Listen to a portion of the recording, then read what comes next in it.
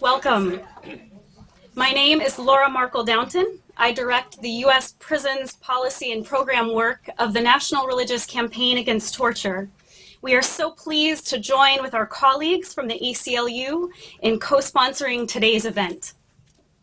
The National Religious Campaign Against Torture is a membership organization committed to ending US sponsored torture and ending torture, cruel, inhuman, and degrading treatment in US prisons.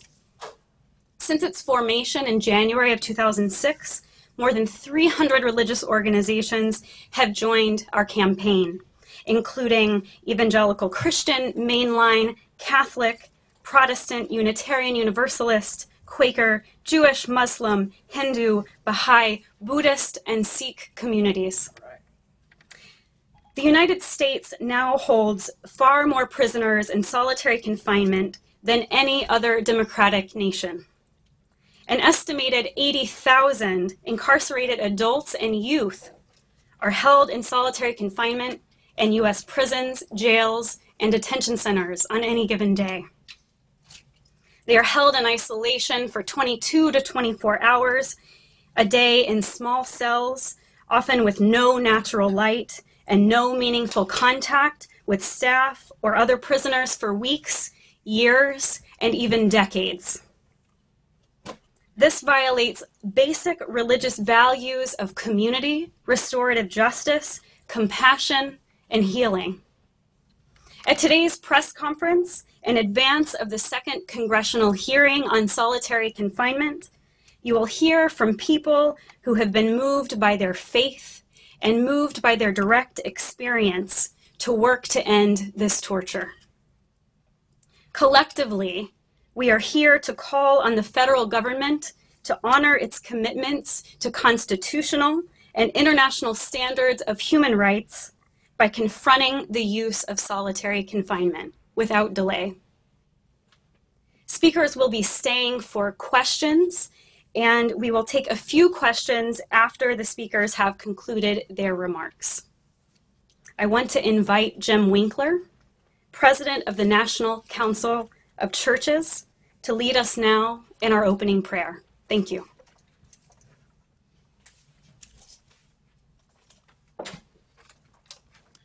Good afternoon, and on behalf of the National Council of Churches, I want to thank the National Religious Campaign Against Torture and the American Civil Liberties Union for calling us together today, and to Senator Durbin and to other uh, members of the Senate who are have agreed to hold the hearing this afternoon. We also say our words of thanks and appreciation. Let us pray. Ruler of the night, guarantor of the day, we gather before thee to witness on behalf of sisters and brothers living tortured lives of solitary confinement, mostly without meaningful human contact. We beseech thee to be with them during their sleeping and during their waking, that they may know thy peace and comfort, that they may somehow find thy holiness in the hell holes called solitary confinement. Those of us who are free are privileged people Many of us can only wonder about solitary confinement, and just as we cannot look too long into the sun, we find it painful to ponder the deep loneliness and sorrow concomitant with the horror of solitary confinement. We have been commanded by thee to feed the hungry, give drink to the thirsty, clothe the naked, and visit the prisoners. Require us not to take these responsibilities lightly. We seek thy strength as we struggle to free the oppressed. Give us new visions of people freed from silence and solitude. Give us strength and courage beyond committees, hearings, and memos, beyond calls and appointments, beyond frazzled expectations. Turn us toward the light as we pray for those who live in the darkness of despair. Today we submit our ways to Thee the one who promises the way and the truth and the life. Grant us courage and grant us strength as we fight for justice. We pray in the name of all that is holy, and together let us say, Amen.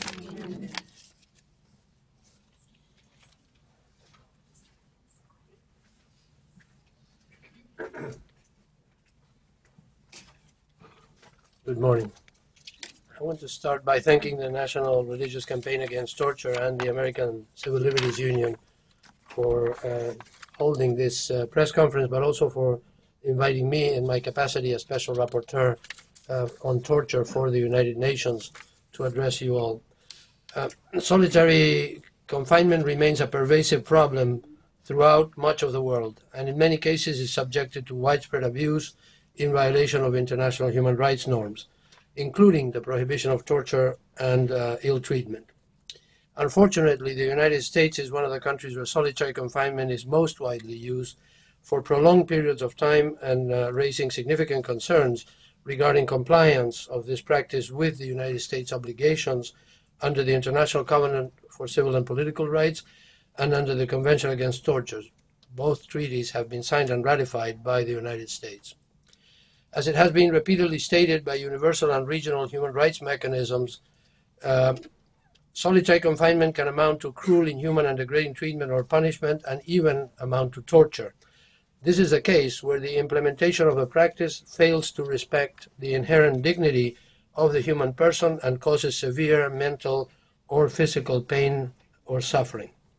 Evidence suggests that serious health effects may begin to appear after only several days of isolation, including certain psychotic disorders, anxiety, anger, depression, cognitive disorders, and paranoia. According to official sources, a majority of the roughly 80,000 persons held in solitary confinement in the United States in any given day are held in isolation for prolonged or in indefinite periods. In California alone, an estimated 10,000 persons are being held in solitary confinement, many for prolonged periods. In the, in the report I presented to the United Nations General Assembly in 2011 on the issue of solitary confinement, I defined prolonged solitary confinement as any period of isolation exceeding 15 days. I chose a standard based on research that identifies 15 days as the point at which many of the harmful physical and psychological effects of isolation can become irreversible. Because of this, I find that the use of prolonged solitary confinement should be prohibited at all times as it constitutes cruel, inhuman, or degrading treatment or even torture. This is not to say, however, that isolation lasting for 15 days or less is always justifiable. All instances of solitary confinement should be assessed on a case by case basis, taking into consideration all relevant circumstances, including the purpose of its application, the conditions, length, and effects of the treatment, and the subjective conditions of each individual. In this sense, special attention needs to be paid to the particular context and justifications for the imposition of solitary confinement. Although the use of short-term solitary confinement with appropriate monitoring may be sometimes legitimate, the practice cannot be justified as a form of judicially imposed sentence or disciplinary regime, or when it is applied solely on the basis of the gravity of the crime of the offense for which the inmate has been convicted. Additionally, when applied as a prison management measure, such as in cases of separation of suspects of association with gangs, it deprives the inmates of their due process rights to challenge the decision, and it may become a punitive measure which can easily be abused by guards and authorities against certain inmates. The same conclusion may be extended to the use of solitary confinement in pretrial or preventive detention, where such practices create a de facto situation of psychological pressure which can influence detainees to make confessions or statements or to plea bargain and raise the risk that acts of torture or ill treatment will go undetected and unchallenged. Furthermore, in recognition of the special vulnerability, the use of solitary confinement of any duration with regards to juveniles, to persons with mental disabilities, or to pregnant women should be strictly prohibited. Fortunately, there have been some serious efforts to address this issue in recent months that I would like to uh, publicly welcome. Such is the case of the state of New York that has agreed to implement a minimum of five hours of outside cell programming. I have also been informed of other positive developments in other states, including Maine and Mississippi, where actions have been taken to safeguard prisoners, particularly juveniles, from the detrimental impacts of solitary confinement. Other states, such as Colorado, are increasingly aware of the need for reform, and although change is slow to take hold, have publicly expressed intentions to work on reform. Recognition as, of the adverse physical, mental, and emotional impacts of solitary confinement, and the development of procedures to safeguard against its application, especially for long and excessive periods of time, is the first step in reducing the and, and, and ideally eliminating eventually this practice. However, solitary confinement still continues to be a pervasive issue in the United States, and more efforts are needed in order to bring the practice in compliance with international standards. First, the physical conditions and implementation of isolation must be proportional to the severity of the charges against the detainee. Second, solitary confinement must be imposed only as a last resort and for the shortest duration possible. Third, solitary confinement must never be imposed except where there is an affirmative determination that it will not result in severe mental or physical pain or suffering. Fourth, authorities should document all decisions assessments, and justifications pertaining to solitary confinement and should communicate this to the detained person and his or her counsel. Additionally, persons held in solitary confinement must be provided with a genuine opportunity to challenge the nature and justification of their confinement through a process of administrative and judicial review and be granted free access to competent legal counsel and medical services. I would like to conclude by once again thanking the National Religious Campaign Against Torture and the American Civil Liberties Union and other participating organizations uh, who help organize this important event. I am also looking forward to uh, the uh, congressional hearing that we're going to witness this afternoon. Uh, and I'm hopeful that this gathering and that hearing will also help build upon the momentum speared by activists, civil society organizations, and relatives of persons who are in solitary confinement and by the persons who are in solitary confinement themselves to uh, help uh, further public awareness and push for reforms on this important issue. Thank you very much.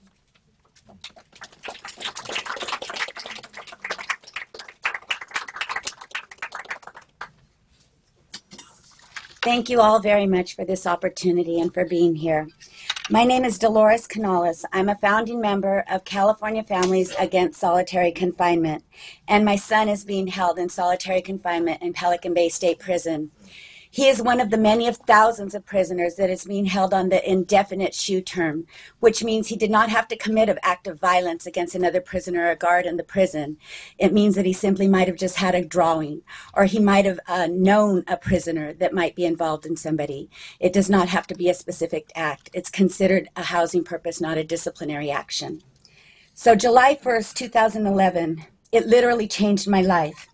As the prisoners began their first hunger strike, a historical hunger strike of all races joining together for the common cause to raise awareness to the decades long confinement of isolation. A hunger strike that spread across the state of California, affecting thousands of, pris- thousands of prisoners, where thousands upon thousands joined in in support to get the message out that in the state of California, there are thousands of prisoners being held in solitary confinement, and my son is one of those prisoners. My son has now participated in three hunger strikes since 2011. And for this, he has been punished. The efforts of the peaceful protest of the hunger strikers in California have been disciplinary documentation by CDC. But I ask you, what other choice did they have? My son asked me, what other choice did we have? I believe that if it were not for those efforts, the issue of solitary confinement would not even be on the forefront as it is today. As a family member of someone that has that has a loved one being held in solitary confinement, it is a daily struggle to remain hopeful when we are dealing with a system that denies that solitary confinement even exists. The words of my son stay with me daily. He wrote after his transfer to Pelican Bay to go outside and enjoy the sun and observe God's great creations. This place is like being underground, straight isolated, Mom. They say summer is over. I say, when did it even begin? My son writes, I always try and remain positive and optimistic. You need to in this crushing environment, although some days are harder than others. I admire the strength of my fellow prisoners that have been subjected to these nefarious conditions since this place opened. I also feel for them, no matter how strong they are. I know these conditions take their toll at them on them at times. How could they not? My son has only been held in solitary confinement for 13 years. And the reason that I say only is because I am now surrounded and involved with family members and activists and lawyers and activists that have been fighting this struggle for the past 30 years. So right now in the state of California, we are working on two bills.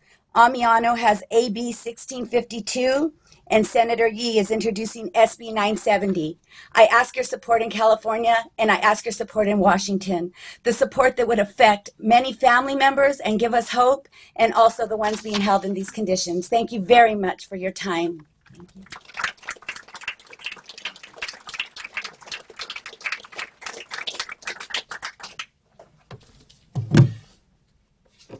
Uh, thank you, everyone, for coming out. My name is Five Mualimm-ak. I've done over 40,000 hours in solitary confinement in New York State, um, a little over five years.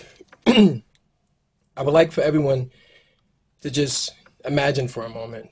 If you can close your eyes and imagine where I lived uh, for many years upon years upon years of my life. Imagine a space the size of your bathroom, but no amenities in there.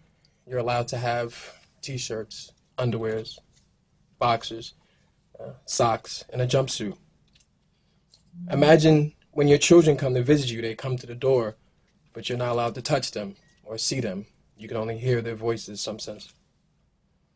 Imagine that every meal is pushed through this small slot, like your mail slot, in the front of your house. Imagine when you cry out for medical attention, like I did when I was pleading for insulin, being diabetic. I have to get my slots through the food slot, my shots through the food slot. Imagine that being denied. Imagine hearing someone in the bathroom next door who has uh, seizures, falling off his bed, falling on the floor. Imagine hearing the footsteps of people walking by, but ignoring your cries. Imagine that for 45 minutes to an hour every day, they open the shower curtain in that area is your rec area. Imagine living in that space for years upon years upon years. Now imagine that person being held there, being an average ninth grader, being a child. I was not a child, but I can see the effects that happened to me permanently. permanent emotional damage, permanent psychological damage, my heart is racing right now as I stand here and speak to you. But these are the conditions that cause permanent damage. But imagine a child going through that permanent damage. Someone who's in the peak of their developmental stages. Someone who's missing their parents' guidance because out in the world, they're not an adult. In the world, they're going to high school. They just got a bus pass. They're thinking about video games and new sneakers. But inside, they're worth thousands of dollars. Inside, they're an adult. Inside, they're treated and punished like an adult. My heart goes out to others because if I spent years in different facilities, I've seen children come in that were my son's age. I myself am a parent. I used to be called father, brother, uncle. But now I'm just known by a number and um, I'm not allowed any human rights. People don't understand what it is to be in solitary. If you don't mind, I want to take a moment to kind of briefly explain this to you. You have to kind of think about how do we use our senses, right? Because sensory deprivation is what solitary confinement is. How do we use our senses to communicate? Our sight, our touch, our hearing, right? These are our God given rights. And we use this since childhood. This is what we're taught by our parents how to communicate. And then you go to deprivation, which is the side of depriving a person of all those human rights. A person's brain goes under attack, and imagination starts to fill in where facts are in your brain. You start to talk to yourself, but what do you do beyond the time of counting all the cracks in the wall, right? What do you do after you count all the bolts in the floor and how to paint strokes in the wall, right? What do you do after the the wind that comes under the door starts sounding like voices after a while? What do you do when you're revoked by your own scent? where you have a beard that's been growing for so long it just irritates you. But you're never seeing your face because you're not allowed any reflective services. You forget what your children look like because you're not allowed to have the photos of them. You don't have reading material because nobody's sending you anything. And if they do send you the wrong book, you're going to get more time. What do you do when you're denied medical, mental, physical help? Well, that's what I came out to do, to make a change. I'm a part of the campaign for alternatives isolated confinement, as many people who are family members and also victims of solitary confinement torture. Why do I say it's torture? Because for 90 days I was put on a food torture, which I would like to invite everyone to taste the loaf. The loaf is a punitive damage in New York State, which is a food torture, which drains your system. It's made of rotten cabbage and baked bread. It's about the size of a meal that you'll get twice, three times a day, the size of your cell phone, and that is what you're allowed to eat. But as I come from New York State, New York State has many forms of torture. But we are united and we're fighting, we're making progress. Recently, the New York Civil Liberties Union had a settlement, which affects a small population of people, which will relieve a good amount of pressure. It is a first step.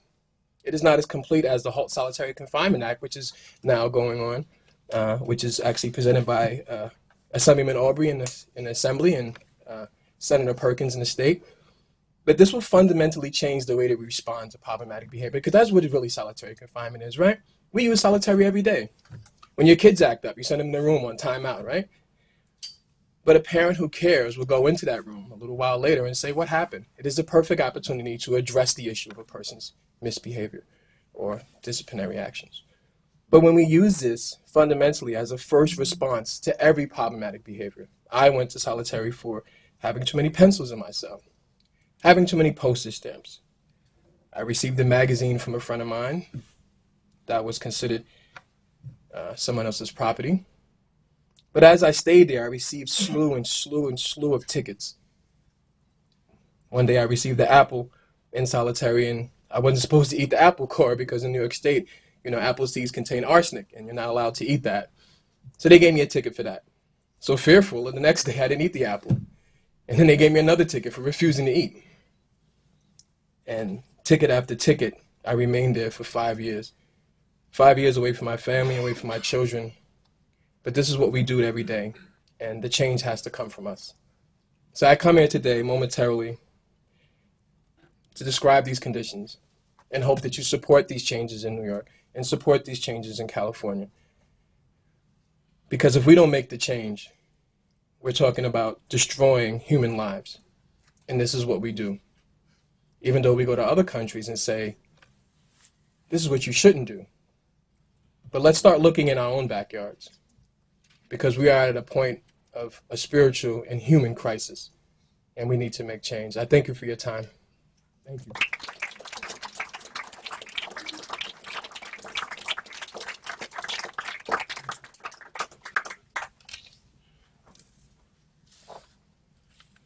Good afternoon.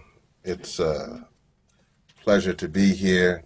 My name is uh, Reverend Lennox Yearwood. I am the president of the Hip Hop Caucus, and I want to thank the National Religious Campaign Against Torture and my dear friends from ACLU and, and others. It's uh, honor to be with you. Hip Hop Caucus, as you uh, should know, we've been working on the issue of torture um, uh, for quite some time with our friends from Amnesty and others. And I want to thank one of our artists, uh, Yasiin Bey, um, more known as Mos Def, uh, who recently actually demonstrated uh, what it meant to be force fed. If you have not seen that video, I would recommend you seeing uh, that video.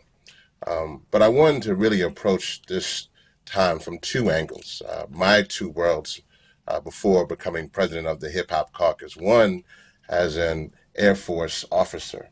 Um, that's what I did before becoming the president of the Hip Hop Caucus. And I was stationed not too far from here um, at Bolling Air Force Base. As a chaplain, my job was to be there at Arlington Cemetery.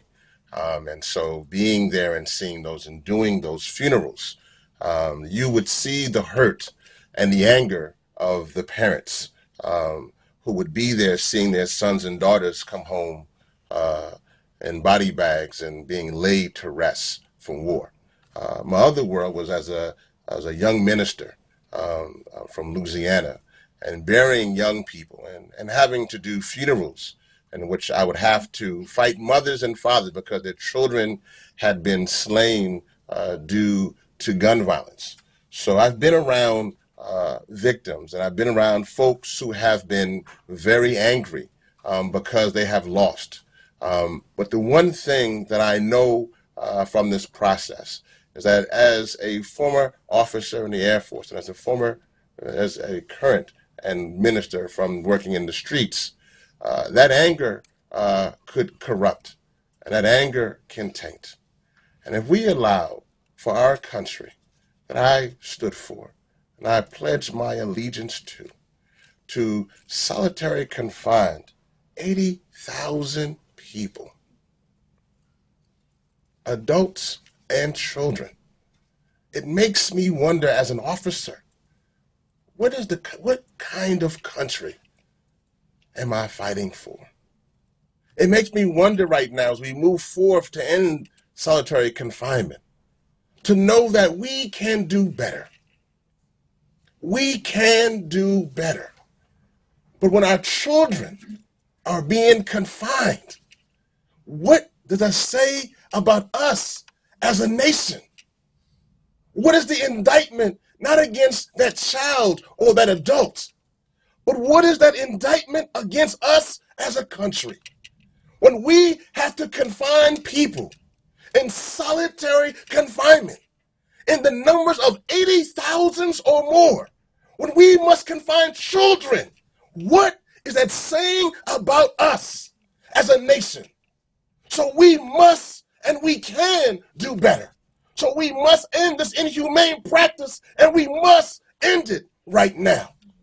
We are pushed forth as a nation by our creed and our honor to do what's right. And if we can't get this right, to stop confining children, then what can we do? We can and we must do better. Thank you.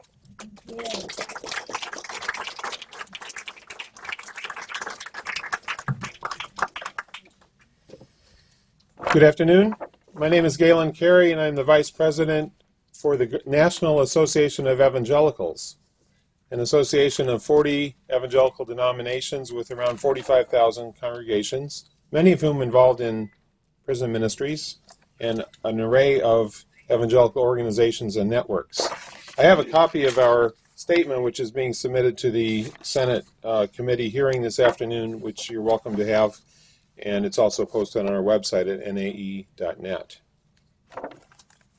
It's a pleasure to join these colleagues in talking with you this afternoon about this issue. Evangelicals believe that the rule of law is a gift from God for the common good. And so when our laws are violated, it's appropriate that there be punishments for those acts. And within that scheme of criminal justice, there is a role for prisons and within the prison administration, there may be a role for solitary confinement in limited circumstances. However,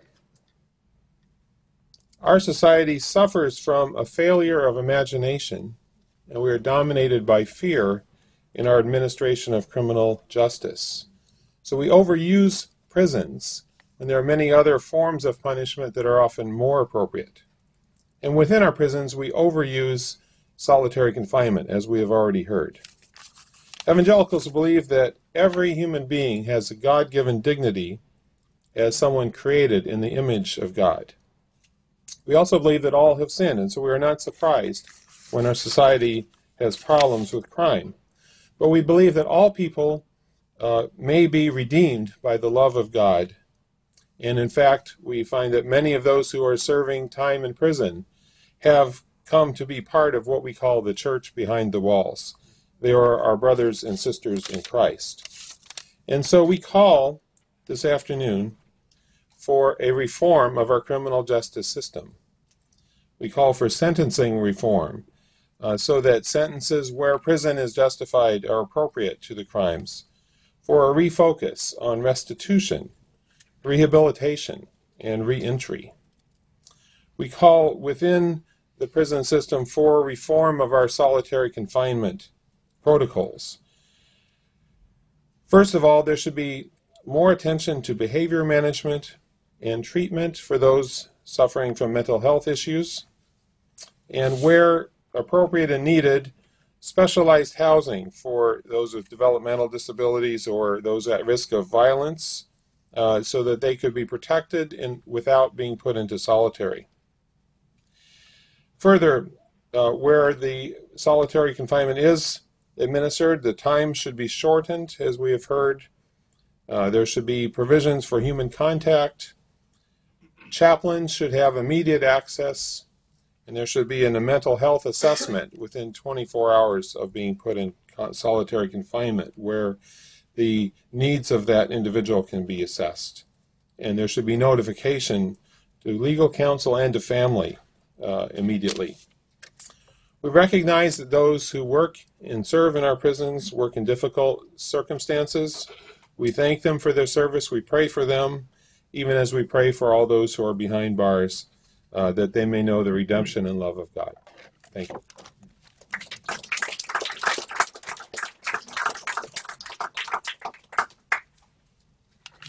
Good afternoon. My name is Amy Fettig, and I am Senior Staff Counsel at the ACLU's National Prison Project, where I direct our Stop Solitary campaign that works to end the overuse of solitary confinement in our prisons, our jails, our juvenile facilities, and every place of detention around this country. I want to thank our speakers today for sharing their faith, their experience, their beliefs, and their energy to end the problem of solitary confinement in this country. Indeed, it is a problem. We know that our wives and our husbands, our sisters and our brothers, and our children are suffering in the thousands on any given day in this country. That is simply inexcusable. And it needs to change. And the good news it is, is that it is starting to change. In states around this country, from Maine to Colorado to New York to Washington, we are seeing change. But we need more. That means we need your help. We need the help of every citizen in this country to speak out against the overuse of solitary confinement and to speak up for the better uses of our criminal justice system to focus on rehabilitation and the return of our citizens back to our communities to be productive citizens. That's something we all need and we all must work for. So today, I, I want to give you a call to action because we all can play a role in this change. Today, the ACLU is launching a petition, and it is a petition to the United States government, specifically to Secretary of State Kerry. Because you've heard from the UN Special Rapporteur on Torture, Juan Mendez, today, and he has shown a global spotlight on the use of solitary confinement. But he has also asked the United States government to come and take a look at the practice of solitary confinement and the conditions of confinement in our prisons and jails. And I am sad to say that right now the United States is dragging its feet. He has not gotten a straight answer, and this has been years. So the ACLU is asking, what are you trying to hide, U.S. government? It's time to let the UN Special Rapporteur come and take a look at what's happening in this country. And so we have a petition and you can sign it. So even in, even you can sign it even now. Actually, I want you to take out your phones, and I want you to go to aclu.org backslash solitary. Take a look at that petition, take action, and tell the United States government enough is enough. We need oversight in our prisons and jails, and we need an end to the overuse of solitary confinement. Now, thank you so much. We're going to have a closing prayer today by Rabbi Rachel Gartner. Thank you, Rabbi.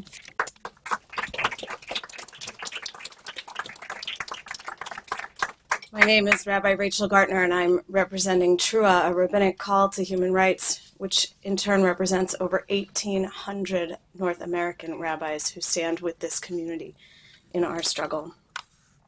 I'm humbled to be here. Dearest God, source of life, source of every single life, in whose image every one of us is crafted. You teach us, Lotov hiot ha'adam levado, it is not good for humans to be alone.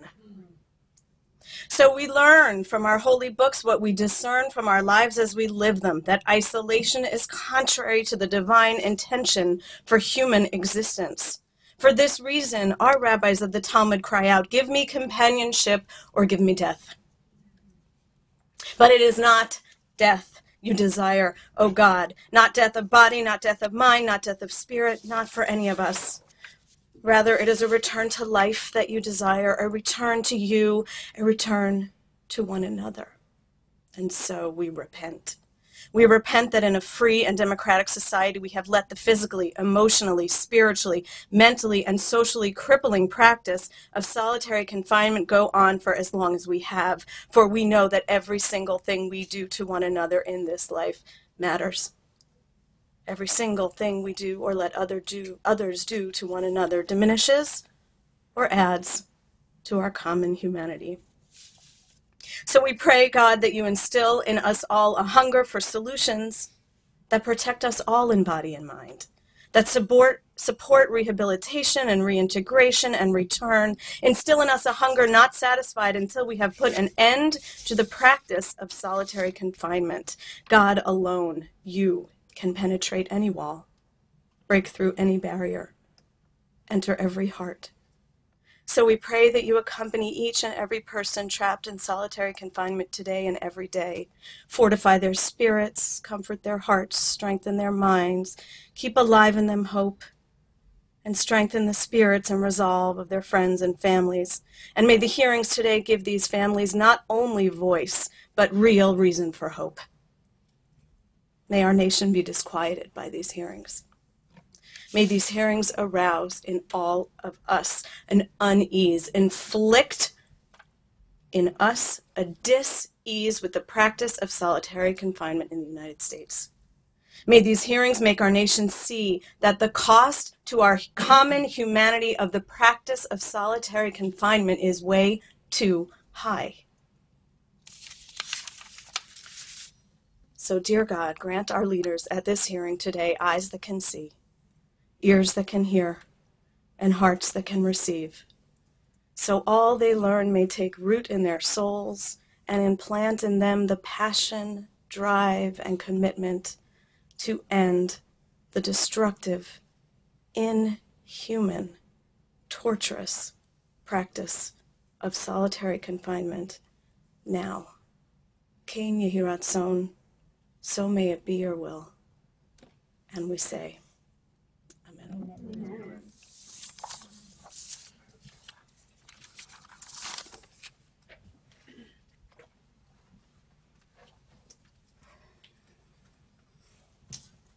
At this time, we want to open the floor for questions for any of our panelists.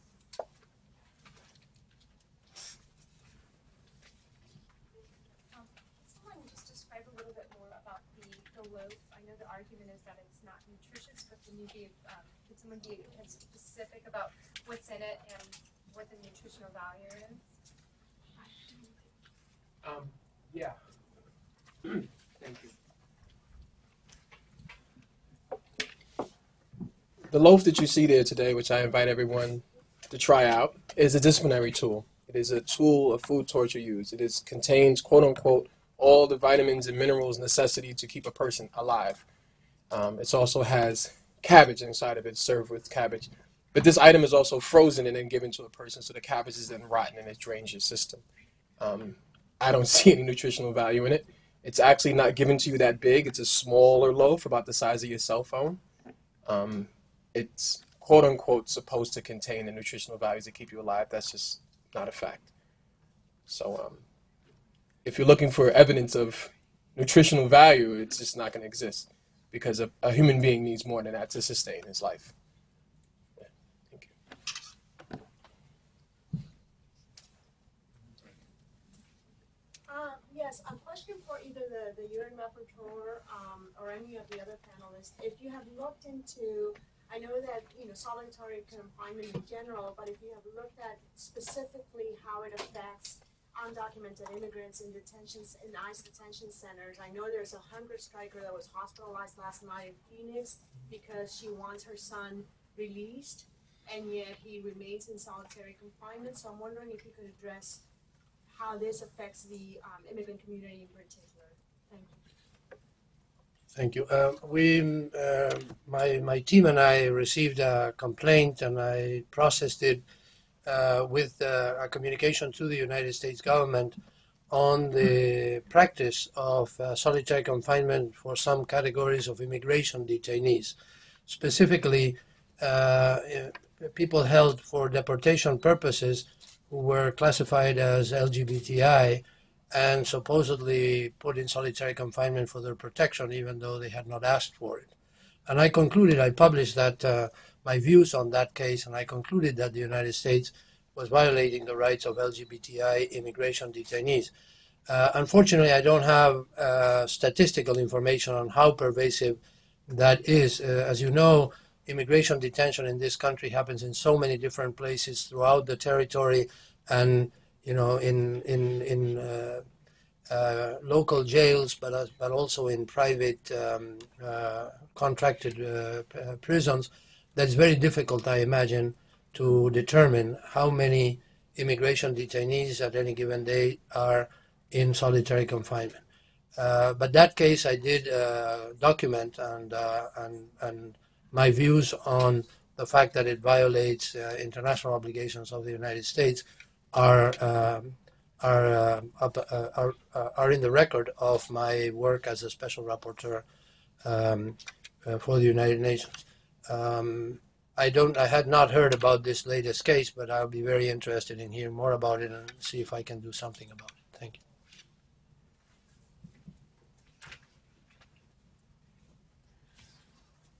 I would just like to add to the Special Rapporteur's answer to your question uh, that we have Detention Watch Network's testimony at the back of the room which focuses on the overuse of solitary confinement in immigration detention in this country, it is a serious problem um, because immigrant detainees are held in local jails and private facilities that are very much geared towards uh, the American correctional style. And unfortunately, that translates into the overuse of solitary confinement as both a management strategy and a punishment strategy.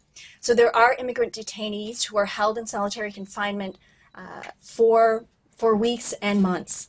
I would like to point to the fact that uh, ICE has a new program directive that is supposed to allow for greater oversight and monitoring and limits on the use of isolation and solitary for immigrant detainees.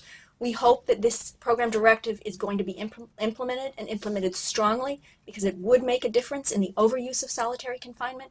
But right now, we don't have enough data to make an accurate evaluation. Uh, however, we need to keep pushing.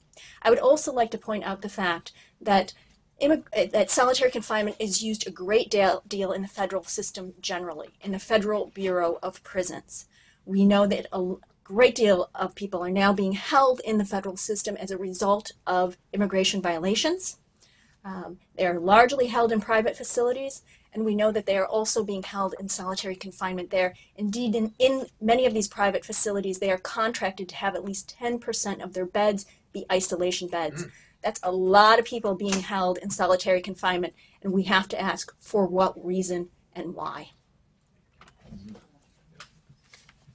Was add in general, the idea of detaining immigrants is particularly inappropriate and because the vast majority of immigrants have not committed any crimes. They don't represent any risk to society.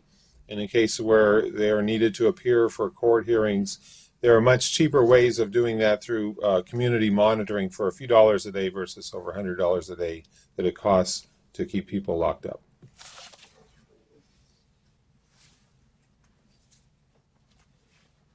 Are there other questions?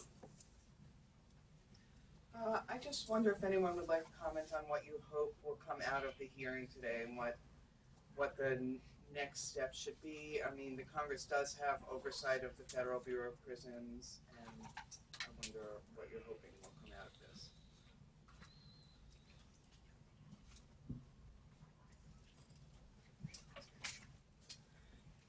This second historic hearing on solitary confinement before the Senate has a real opportunity to make a difference and to make a national difference. Uh, the ACLU and a number of our colleagues in the advocacy community have called on Congress to pass affirmative legislation. Now, this legislation should require oversight and accountability for the use of solitary confinement in this country. Right now, the truth is that we don't know enough. There is no national reporting require, required so that individuals held for weeks, years, months, decades in solitary in this confinement in this country, we don't know who they are, we don't know where they are necessarily, we don't know how long they've been there or or how they're ever going to get out because there is no national reporting required. In fact, most of the time, there's not even state level or local level reporting. So the American public needs to know what's happening behind bars. And a great first step is to ensure with Congress that there's more monitoring, there's more oversight, and there's more accountability for these practices. Uh, and second, we need national regulations. We need these practices to be limited, we need them to be humane, and we need them to be national so that individuals living in Colorado won't be treated differently than individuals in Florida or Hawaii or Alaska or Michigan. We need national accountability because solitary confinement is serious. It does real harm and it actually causes deaths. And it's preventable and we can make a difference. So I would say to the Congress, there's a lot you can do here. You can ensure oversight, you can ensure accountability. You can standardize national practice.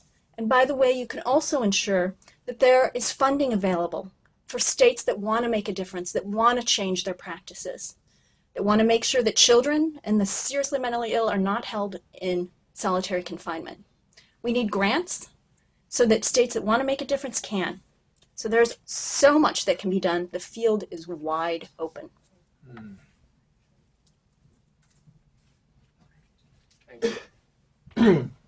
I just wanted to add a comment to two things. Actually, what she said also, uh, yes, the federal facilities do hold an immense amount of people in immigration detention, but also in the state where we have no private prisons, like in New York, it's just Orleans Correctional Facility where people are sent to, which is just solitary. So if you're being deported, you're going to be in solitary also.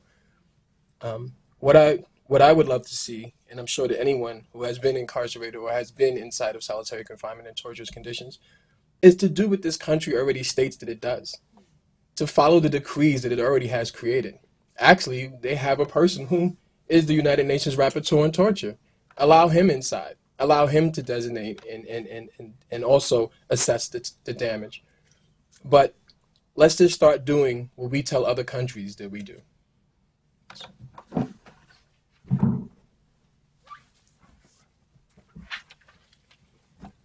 What I would hope from these hearings, what would occur, is that we deal with the conditions of confinement, conditions of confinement that deprive human beings from natural sunlight, from human contact, that many mothers go to their graves never holding their sons' hands, that many mothers cry themselves to sleep as their sons, their brothers, their fathers, they have committed suicide in these solitary cells. I would hope that more is revealed of what goes on, and I would hope for great change. I would hope that before I die, I am able to hold my son's hand. I would hope that before I die, I know that my son could look out a window and see sunlight. I would hope for change, significant change, and as soon as possible.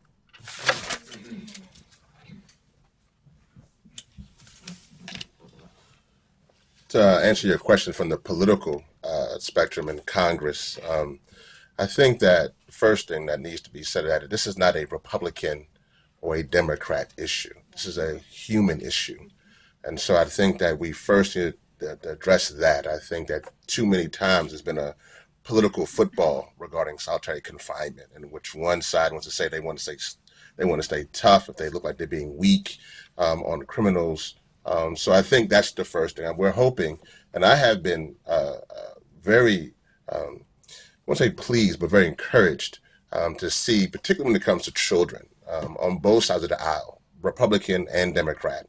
There is something that there's something that is grabbing. That's saying that why are we incarcerating uh, so many children in solitary confinement? And so there is some hope. I would, and I think that um, not only from the federal, from the, the congressional level, but I think also from the executive branch as well. We would hope to see that President Obama, uh, he has a pulpit as well in this matter, that he would also uh, come out and very, very, and word things very strongly from his aspect. He recently put forth a uh, uh, a black male achievement and is looking at the uh, uh, the prison uh, uh, the school to prison pipeline and looking at those effects. We'd hope that this would be a part of that dialogue as well from President Obama, that he himself would also come out um, from his position to speak loudly against solitary confinement. So not only is it from the Republican or Democrat, but also all branches of government, that they would come out to really see again that this is not Republican or Democrat, but this is truly about humanity.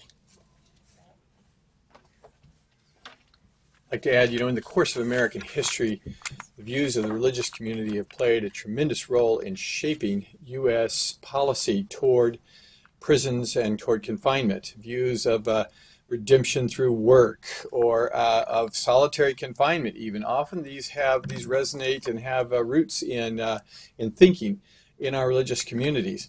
But I want to pick up on what Reverend Yearwood said. Our leaders would be wise to hear that there is a growing convergence in the faith community today, calling for a real overhaul of the criminal justice system, an end to solitary confinement. I mean, after all, you have here the National Council of Churches and the National Association of Evangelicals uh, pushing for this. So I hope they'll hear it.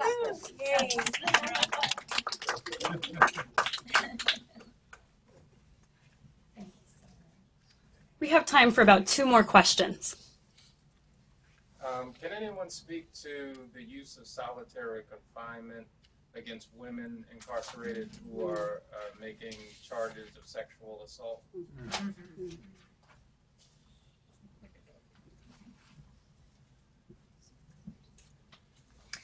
Well, I'm sad to say that actually this is a problem. Women are not exempt from solitary confinement in this country. In fact, you're going to hear about this more at, at the Senate hearing today. But I'm glad you brought up that question because women are often hidden in the criminal justice system. Uh, and they are also hidden in solitary confinement. Um, the fact is that solitary confinement is used on women for the same reasons it's used on men, uh, but they suffer in different ways. And one of those ways is that too often, when women come forward and complain about being sexually abused in a custodial setting, the first thing that happens to them is they're placed in solitary confinement. Now, they may be told that it's for their own protection, but as you've heard to, here today, it's punishment. It causes real harm and it is something to be very afraid of. And so, what ends up happening is that women who are terrified of reporting sexual abuse and being retaliated against don't speak up. And so, they either suffer in silence and they're abused further, or the abuser is allowed to go forward and abuse someone else. This is an unconscionable situation. We should never hold the threat of solitary confinement over the heads of victims of abuse in prisons and jails. And I hope today, when we hear before the Senate the testimony of Piper Kerman, who's going to address this issue, that Congress and the public will take up action to protect women wherever they are from sexual abuse.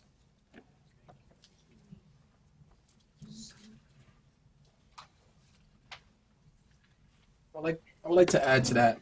Uh, during my time in solitary, I uh, transferred from one facility to another, one solitary facility. And one story stays in my mind where I'm getting on a bus and there's different people in different small cages because it's a bus full of small cages. And there is a child that looks like younger than my son. There's a woman. And there's also a woman who's pregnant. Because women who are pregnant inside are still in solitary confinement and they are abused. I also have a coworker. Her name is Yvette Gonzalez, who did seven years in solitary confinement. Um, she's transgender, but because of that, they placed her in solitary because they were protecting her from population. Um, she now advocates for those in the LGBTQT community because they are mostly abused inside. Also, they are facing abuse from people inside incarceration, but also more so from the office's administration. So the abuse doesn't stop. It's basically fundamentally this is how we address problematic behavior in every people all people even children going through growing pains women who are pregnant people who have problematic behavior deserve to have more treatment and more therapy and we should care for them like any human being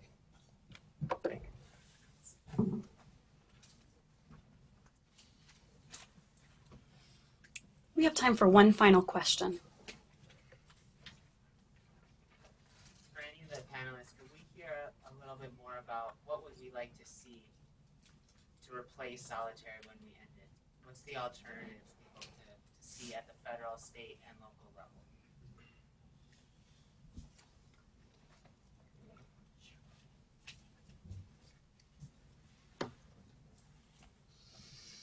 I would say the first thing we need in our prisons, jails, and juvenile detention centers is treatment.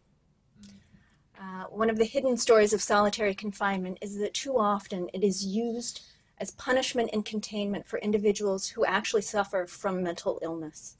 And unfortunately, when they get into solitary confinement, their condition is exacerbated. Uh, and that is why we see the horrendous incidences of self harm and suicide in nearly every solitary confinement country and uh, confinement uh, prison in this country. So we need to have something else to do. We should not be using solitary confinement on individuals who are disabled and suffering from mental illness. Um, and New York State actually has a, a model uh, after passing legislation called the SHU exclusion law to at least exclude some of the mentally ill individuals from its isolation units. Not enough, but some. Uh, that's, a, that's a great place to start, uh, to give people treatment, to get them better. Uh, you know, we wouldn't put a can- we wouldn't deny a cancer victim treatment, but that's what we do when we place mentally ill people in solitary confinement. So give them treatment and provide incentives for better behavior. When you eliminate all hope from people, you give them nothing to look forward to. You don't rehabilitate them, and then you release them to the community worse off than when they got into prison and jail. There are a lot of alternatives. For our children, we do not need to be locking them in cells the size of a bathroom. If we did that in the community, it would be called child abuse. Mm-hmm. Why is it different in prison, jail, or juvenile detention centers?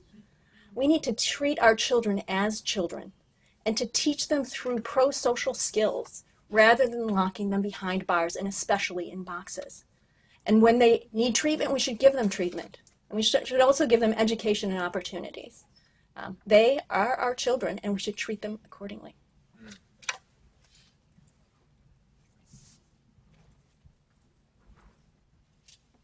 I promise this is my last time coming up here. it's it, that's a very good question. Um, actually, in New York State, there's a bill written by people who have been previously incarcerated, also written by family members, also written by the largest accumulation of organizations all working together on this one cause senators, assemblymen, activists, lawyers. Um, first of all, we need to fundamentally change the way that we respond to problematic behavior inside of people. Respond the way we respond to drug abuse is with incarceration. The way we respond to being different that we feel is different is incarceration. The way we respond to physical disorders mental disorders with incarceration. So we need to one drastically restrict the criterias of people inside that are in solitary so there's certain people that shouldn't spend even a day inside a solitary confinement and those who we do, we need to create residential units which actually help in therapy to give them more out of time cell. Because when a person has problematic behavior, we need to respond with more therapy, more treatment. And what is a better time when you have a person isolated from everyone else, right? So we need more out of cell time, more practices, more education, and more human contact, not just deprivation, which exacerbates a person's condition. Also, there's some people that shouldn't spend one day in solitary. If you have no arms, no legs, you shouldn't be in solitary. If you're a woman who is pregnant, you shouldn't be in solitary. If you're a child, an average ninth grader, which is 16 years old in New York State, that's an adult but in New York State, we do have the Halt Solitary Confi- uh, Confinement Act, which is a more comprehensive bill, but also addresses mass incarceration itself, right? We have 2.5 million people incarcerated. Why do we have that many people? Why are that many people inside incarceration with mental illness? But let's just take a quick memory trip that in the 80s, Reagan cut community based funding for mental health facilities. So by 1985, these people were out in the street homeless, right? And then what else do we allow? We allow anti-vagrancy laws, anti-panhandling laws, anti-trespassing laws, anti-loitering laws, right? So we basically made it illegal to be homeless. And then we incarcerated those people. And at that time, the Department of Corrections reported that we had about 250 to 300,000 people incarcerated. But from the 80s up, it was a 500% increase, strike to the millions we have today. And of course, these people who are problematic in society, who need, who have persistent mental illness, who have substance abuse problems, they're more problematic in society. Of course, they're going to be even more problematic inside incarceration. But what do we do? We just replicate what we do in society as incarceration, where we remove a person from society, from the community, and place them inside incarceration. And just like Commissioner Fischer, just like Commissioner Horn had said, we only replicate what they do outside, right? So we take people from the community you've been removed from and put them in a further dungeon like state. And yes, of course, over 80% of these people are people of color. And inside incarceration, the numbers are even higher.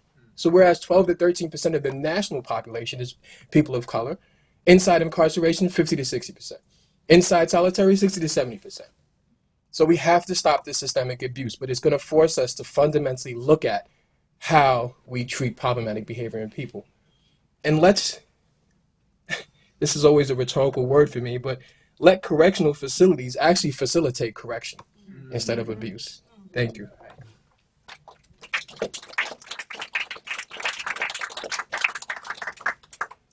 Again, I just want to thank everyone so much, all the groups that have embraced California Families Against Solitary Confinement, NRCAT, LSPC. I mean, if I even started naming them, I would leave somebody out, so I better not. But um, I just want to say that in the state of California, you do not need to commit a violent crime or even have a victim in the crime to be serving a long term or a life sentence. In the state of California, 75% of prisoners have a substance abuse problem. And this came from a state health care forum that I got this information information that CDC put on. In the state of California, prisoners have a mental one or mental two access, 50% of those prisoners. So what I would like to ask you today, that in the state of California, where we say California Department of Corrections and Rehabilitation, is it right to leave a human being no matter what they are. I know a lot of the talks have been specifying and uh, classifying certain classes of prisoner, but today I would like to just classify the human being, all human beings that are being held in solitary confinement, no matter who they are or what they are or what they represent. All human beings that are being deprived natural uh, sunlight, human contact, all human beings that are being deprived rehabilitation. So I would ask for outside oversight. Right now in Pelican Bay State Prison in the state of California, it's internal oversight. Literally their appeals process, they oversee one another. So there's no outside oversight. I would ask for that. I would ask for great policy change to the visiting process, to the to the outside communication process. I would ask for policy change into the way that they use these um, these housing uh, designated areas of segregation, administrative segregation, because every prison in the state of California has isolated cells that are referred to administrative segregation housing units that are just in the same format as Pelican Bay. So I would definitely ask for outside oversight. And I thank you all for being here. And I totally agree with the gentleman that said this is not a Democratic issue. This is not a Republican issue.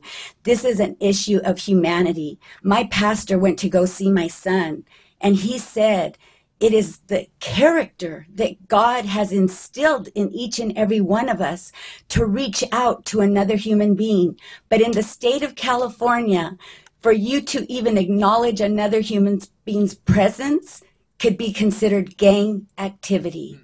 It's something as simple as that. And what we're fighting for, what we know to believe, I stand here in truth. And that's what gives me the passion, the strength, and the energy to keep going. Isaiah 40, verse 31. The strength of the eagles. So I just want to thank you all so much. And I do believe in great change. I do believe that I will be hugging my son. And I thank you so, so much because it's together that we're going to make a difference.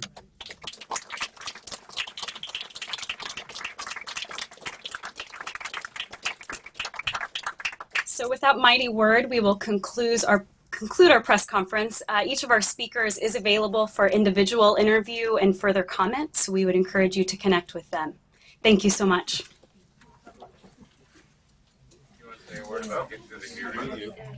You